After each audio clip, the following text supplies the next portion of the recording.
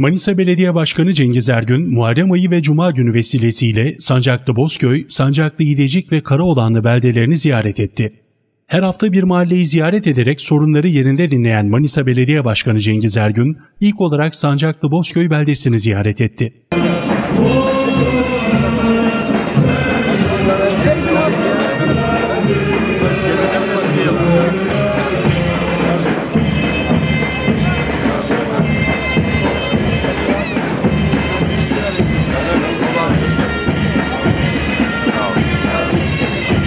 Sancaklı Bozköy girişinde belde sakinleri tarafından büyük ilgi ve sevgiyle karşılanan Başkan Ergün, tüm vatandaşlarla tek tek tokalaştı, Muharrem ayı ve cumalarının hayırlı olmasını diledi.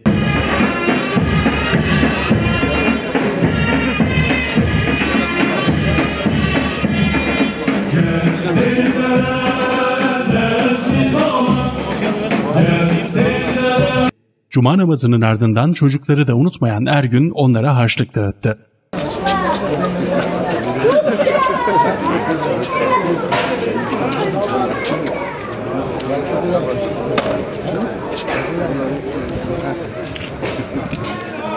Okulda top da dağıtacak size bak hadi. Manisa Şehzadeler Mehteri tarafından verilen konseri bir süre izleyen Başkan Ergün, daha sonra vatandaşlara aşure dağıttı. Başınızı alın.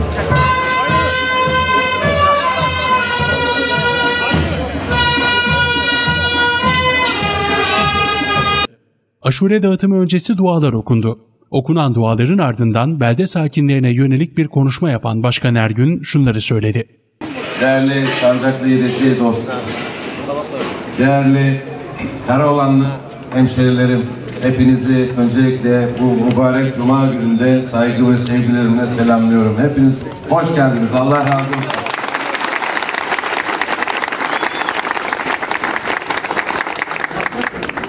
Cumamız mübarek olsun. Öncelikle kıldığımız dualarımız, namazlarımız Allah katında kabul eylesin. Bugün bu hafta içerisinde bulunduğumuz aşure, Muharrem ayının içerisinde aşure haftası, 5 yıldan beri bir gelenek haline getirdiğimiz ve seçim öncesinde 2009 yılından önce başlattığımız bu güzel uygulamamızı biz Manisa'da 5 senedir devam ettiriyoruz.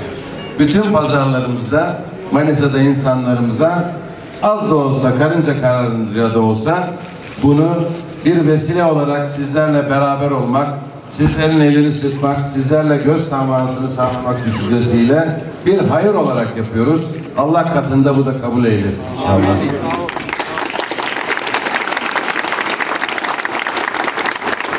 Tabii bulunduğumuz konum, bulunduğumuz şartlar Allah öncelikle sağlık, sıhhat versin. Her şeyden önce temennimiz o. Bulunduğumuz makamlar, hizmet makamları.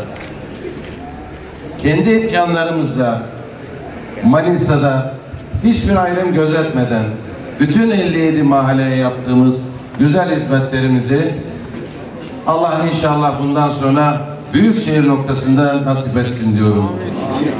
Tabii şu andaki imkan ve durumumuz Manisa Belediyesi'nin Manisa Belediyesi bütçesiyle yine bugünlerde son 4 ay 5 ay içerisinde bütün köylerimize, beldelerimize Manisa'daki 780 köyü ve 1440 tane mahalleye hizmetlerimizi imkanlarımız dahilinde vermeye çalışıyoruz. Karınca kararınca az da olsa gönülden bunu sizler için yapmaya çalışıyoruz. Hiçbir ayrım gözetmeden ister AKP'li olsun, ister CHP'li olsun, ister partinin, başka partilerin temsilcisi, muhtarları, başkanları olsun, hiçbir ayrım gözetmeden bize gelen talep ve doğrultularda biz bu hizmetleri vatandaşımıza hizmet etmek için gönderiyoruz. Bunun bilinmesini istiyorum. Tabii bu kapsamda hem Sancaklı Bozköy'e hem İdece'ye hem de Karaoğlanlı'ya bu yakın çevrede yaptığımız bütün hizmetleri benim burada tek tek sizlere söylememe gerek yok. Sizler zaten bunları yakından takip ediyorsunuz. İnanıyorum ki bu güzel hizmetleri Büyükşehir kapsamında inşallah daha da fazlalaşarak nasıl Manisa'nın içerisindeki bütün mahallelerimiz yaptıysak Buralarda Allah nasip etsin inşallah bize de yapmayı nasip etsin diyorum. Hepinize tekrar hayırlı cumalar diliyorum. Dağıtacağımız aşurenin de Allah katında tekrar kabul ediyorum. Hepinize saygı ve sevgilerimi sunuyorum. Sağ olun, var olun.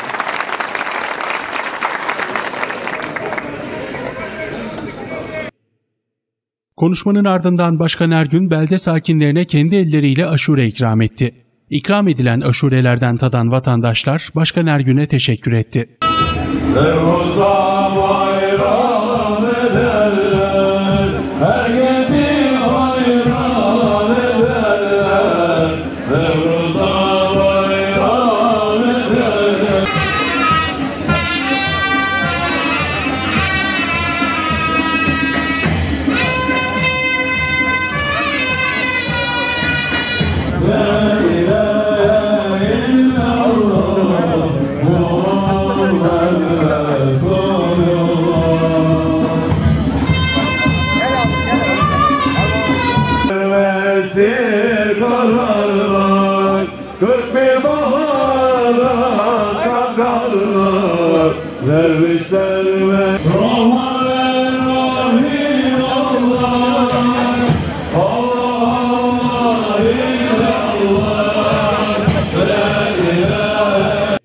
Aşure dağıtımının ardından Başkan Ergün ve beraberindekiler belde kıraathanesinde vatandaşlarla bir araya geldi. Kıraathanede bulunan vatandaşlar köylere ve beldelere hizmetlerinden dolayı Başkan Ergün'e teşekkür ederken bazı taleplerini de ilettiler. Manisa'nın büyükşehir olmasının ardından tüm belde başkanları ve muhtarlarla Mayıs ayında bir toplantı yaptıklarını ancak Sancaklı bölgesinden katılımın olmadığını belirten Başkan Ergün şunları söyledi. Buradaki hem şehzadeler hem de Yunus Emre'ye bağlı bütün köy muhtarlarımızı, belde başkanlarımızı davet ettik. Bu Mayıs ayında yapıldı da biz eksikleri belirleyelim düşüncesi. Evet. Ancak ne hikmettir ki veya birilerinin engellemesiyle bu başkanlarımız bizim ziyaretimize gelmediler. Şimdi bu işin biz siyaseti, hizmetin siyaseti olmaz. Burada vatandaş yaşıyorsa herkes bir taş üstüne taş koyabiliyorsa en büyük mutluluk bu. Manevi huzur bulabileceğimiz mutluluk bu. Ancak onlar öyle düşünmüşler, gelmemişler. Buna rağmen biz yine Manisa Belediyesi olarak, ekiplerim olarak, fen işleri olarak, park bahçe olarak, diğer ulaşım müdürlüğü olarak burada ufak tefek de olsa eksiklikleri belde e, meclis üyeleri arkadaşlarımızdan, belde teşkilat sorumlularından aldığımız bilgiler ışığında gene ufak tefek bir şeyler yapmaya çalıştık. Gönül isterdi ki muhtarlarımız da gelsin. Hiçbir siyasi ayrım gözetmeden Yani- bizden bu talepleri yapsalardı daha fazlasını yapardık. Sağ olun. İmkanlar dahilinde yapmaya çalışırdık. Ama biz yine köy yollarının bazılarını işte görüyorsunuz yakın çevrede yapmaya çalıştık bu süre içerisinde. Diğer aktiviteleri taş kaplaması, durağıdır, oyun grubudur gibi gibi Evet. bazı çöp toplama hizmetleridir, çöp konteynerleridir. Bunları yapmaya çalıştık. Vatandaş takdir etsin. Gerisi boş. Takdir ediyor başkanım.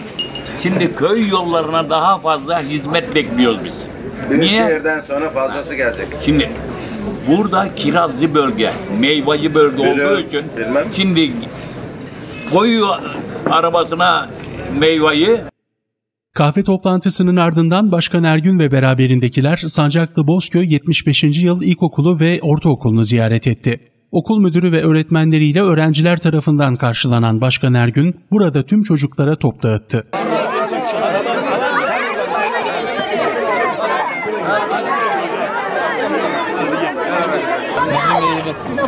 Teşekkür ederim. Senin gibi güzel çiçek bunlar. ha? Sen daha güzel çiçeksin. Maşallah.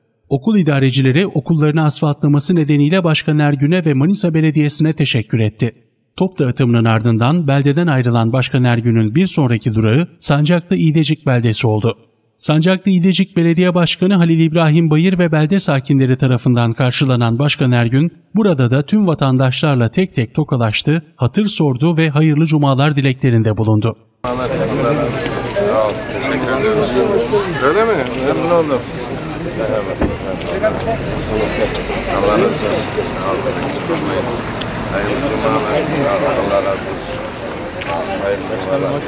Hoş bulduk. Nasılsınız? iyi misiniz? Allah razı olsun. Sağ ol. Sizlere hayırlı cumalar. Merhabalar. Nasılsınız? iyi misiniz?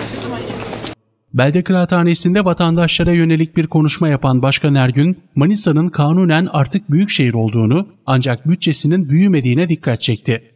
Manisa Belediyesi'nin 2008 yılındaki gelirinin 65 milyon TL, borcunun ise 96 milyon TL olarak kendilerine devredildiğini belirten Başkan Ergün şöyle konuştu. Şunu bilinmesini istiyorum. Yine biraz önce Bozköy'de de söyledim.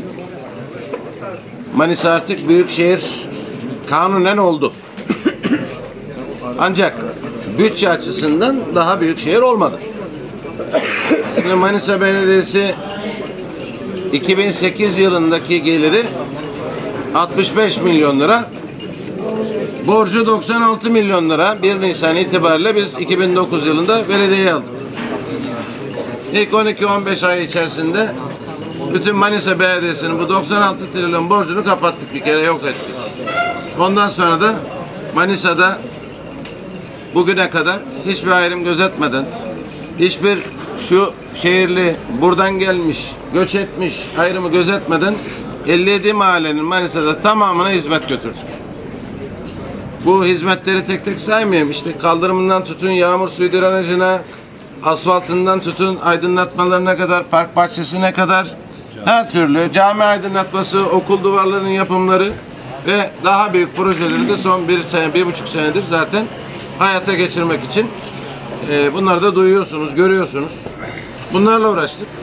Tabii Büyükşehir kapsamına girmekten sonra Manisa'da şu anda bütün il bütününde 780 tane köy artık Manisa'ya Büyükşehir'e bağlanıyor. 1440 tane mahalle Büyükşehir'e bağlanıyor. Tabi bunların altında 17 tane ilçe belediyeleri de olacak. Onların meclis üyeleri olacak.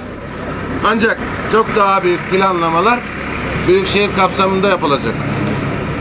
Bunlar öncelikle altyapı yatırımları yani kanalizasyonu olmayan, suyu olmayan, atık su arıtması olmayan köyler birer birer bunların planlamaları gelecek. İşte Gediz'in kurtarılması gibi büyük atık su arıtma tesisleri gelecek. Ulaşımla ilgili ana karayollarının dışındaki köy yolları, belde yolları giden yolların tamamen düzenlenmesi gelecek. Ulaşım sorunları giderilme programları yapılacak. Bu bağlamda bütün artık sizler de mahalle konumuna döndüğünüz için mevcut bu bölge Şehzadeler Belediyesi'ne bağlı olarak hizmetlerini almaya başlayacak. Bu açıdan Büyükşehir bugün işte Manisa 65'lerden aldığı e, geliri her sene rekorlar kıra kıra ilk sene 102'ye ikinci sene 138'e üçüncü sene yani geçtiğimiz senede 168 milyon bir, gibi bir gelire Manisa Belediyesi kavuştu.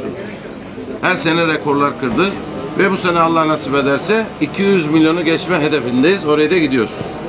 Yani sonuçta bunlar nasıl oldu? Bunlar delikleri kapatarak oldu. Kaçakları tıkayarak oldu. Ve Manisa'daki vatandaşa hizmet olarak bunlar yansımaya başladı. Yoksa durduğum yerde ben sihirbaz değilim. Kendim yaratıp parayı kendim basıp bu işleri yapmadım. Sonuçta gelir gider dengesini en iyi şekilde sağlayarak bu hizmetleri yapıyoruz. Ha bu süre içerisinde de yaklaşık Şubat Mart'tan itibaren hazırlığını yaptığımız Mayıs Haziran'da da ihalelerini tamamladığımız işte taş kaplaması olsun, oyun grubu olsun, oturma bankları olsun, e, diğer çöp konteynerleri olsun gibi hizmetlerinde planlamalarını yaptık. Ve bunları da geçtiğimiz 3-4 aydan beri bütün köylerimize, beldelerimize ulaştırmaya çalışıyoruz. Karınca kararınca imkanlar dahilinde şu andaki Manisa Belediyesi'nin bütçe imkanlarıyla bunun yapıldığını bilinmesini istiyorum. Şu anda tabii ki sizin beldenize de kısmen de olsa işte ufak oturma bankı, duraktır, taş kaplamadır gibi hizmetleri, oyun grubu gibi diğer hizmetleri de e, göndermeye çalıştık. Gönlüm istiyor hepsini bir günde yapayım. Ama sonuçta dediğim gibi her şey paraya dayanıyor. Ve sadece de e, İğdecik yok. Sadece Karaoğlanlı yok. Bütün ilçelerin şu anda muhtarları 780 köy muhtarı bizim kapımızda. Hepsi bir talep içerisinde. Tabii hepsine bu süre içerisinde yetişebilir miyiz? Çok zor. Bunun yarısını yetişsek gene de büyük iş yapmış oluruz diye düşünüyorum. Ancak Büyükşehir çok daha büyük yatırımları ve imkanları sizlere getirecek. Bu bağlamda eee Büyükşehir'in bünyesinde yapılacak olan programlamalarla kötü yol diye bir şey kalacağını ben tahmin etmiyorum. Yani bugüne kadar görmediğiniz hizmetleri inşallah ama emin ellerde çalmayan, çırpmayan, hesap verebilen bir yönetim anlayışı yapıldığı zaman hizmetlerin ne şekilde yapıldığının örneği bugün Manisa mahallelerinde mevcut. İnşallah bu hizmetleri de Büyükşehir kapsamında sizlerin rızası olur olursa Yüce Rabbim alnımıza yazdıysa bu hizmetleri de yapmak bizim boynumuzun borcu. O konuda hakkımızda hakkımızda hayırlısı neyse o olacak. Rabbim ne yazdısı o olacak.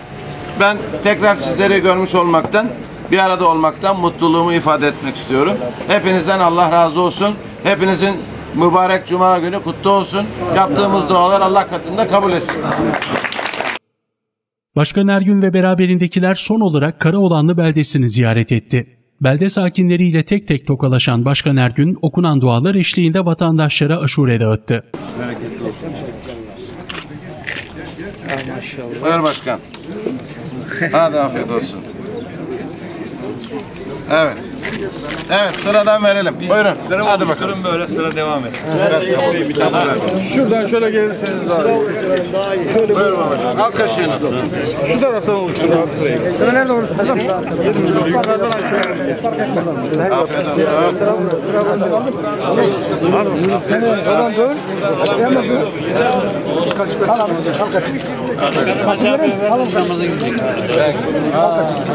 Aşureleri Başkan Ergün'ün elinden alan Karaoğlanlı sakinleri ziyaretleri ve hizmetleri nedeniyle kendisine teşekkür etti, çalışmalarında başarılar diledi. Alan gelsin, alan gelsin. Hemen